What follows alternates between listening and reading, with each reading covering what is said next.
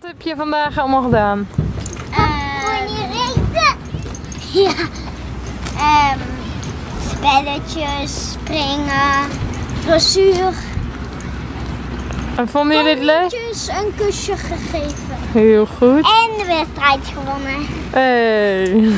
Nou, dat is een mooi einde van de dag, hè? Ja.